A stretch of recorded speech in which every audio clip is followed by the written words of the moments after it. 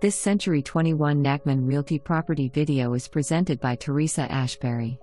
The seller is in the process of subdividing into two parcels consisting of a 5.98 acre lot 2 and a 3.32 acre lot 1. Both have perk sites for 4 bedroom septic. For more information, review the details below.